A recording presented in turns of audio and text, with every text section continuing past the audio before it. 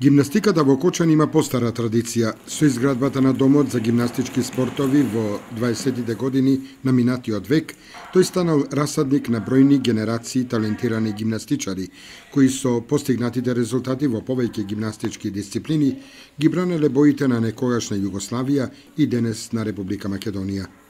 Од резултатите што и годинава ги постигнаа кочанските гимнастичари, тренерот Никол Чоколев е задоволен. Па од настапот сум задоволен од оно што го имаат научено.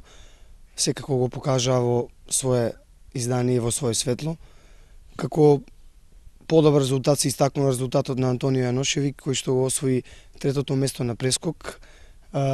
беше шести на конјсорачки и седми на, на вратило. Се уште не се направени резултатите конечни од целосната година. Имаме и во помлади пионери, имаме во а, јуниорки, имаме и во постери пионери. А, ова за гимнастиката во Кочани значи многу, затоа што по големото затиште што беше, мислам дека се движиме во еден правец кој што ќе биде и позитивен за гимнастиката и за на, надпреварувачите, секако и за градот како афирмација.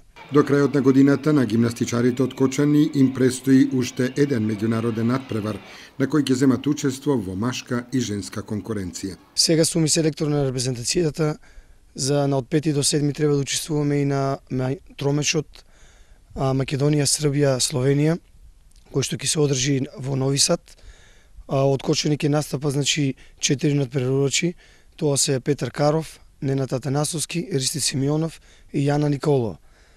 А, исто така ќе се одржи во Нови Сад Тромеч и меморијален турнир, турнир Лазар Крстич.